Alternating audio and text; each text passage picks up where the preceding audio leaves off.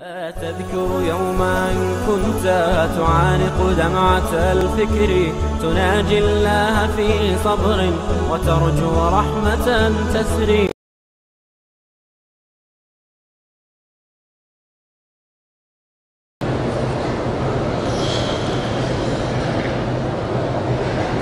سجدے کی حالت میں جو ٹوپی ہے کانوں والی پہنی جائے لیکن جب سجدہ کر کے اس کو اونچا کر دیں کہ سجدہ ٹوپی پر نہ ہو زمین پر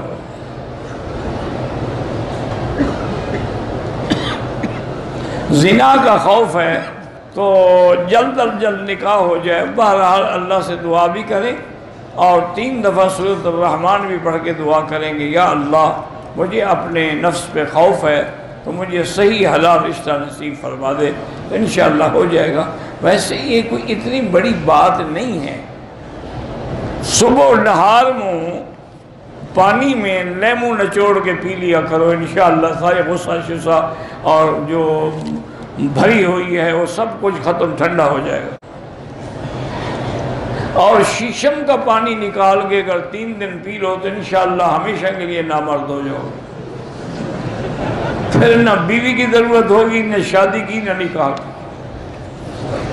جان چھوٹ جائے گی، کم خرچ والا نشین۔ بچوں کے دماغ تیز ہونے کے لیے یا قوی ہو، اللہ کا نام لے کے دعا کیا کریں۔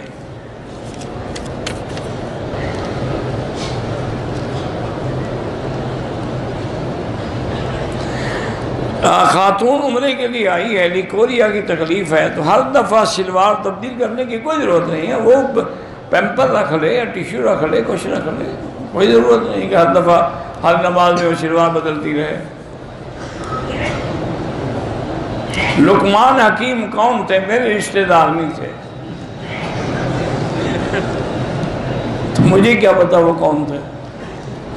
جب قرآن میں یہی نام ہے لکمان تو بس ہم بھی یہی جانتے ہیں۔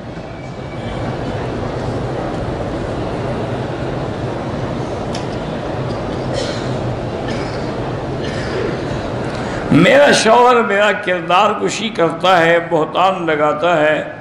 غیر مردوں کے سامنے میری باتیں کرتا ہے، دین کے روشنی میں طلاق لے سکتی ہوں، بالکل لے سکتی ہوں۔ لیکن بہتر یہی ہے کہ دو رکعت نماز نفل پڑھو اور ایک تسبیح یا لطیف و یا ودود پڑھ کے دعا کرو، اللہ اس کو ہدایت دے۔ کیونکہ میری بیٹی یہ نکاح کرنا، طلاق لینا پھر بڑے مشکل مسائل ہیں۔ پھر عورت متعلقہ ہو جائے تو اس سے کوئی شادی کرنے کے لیے بھی تیار نہیں ہوتا۔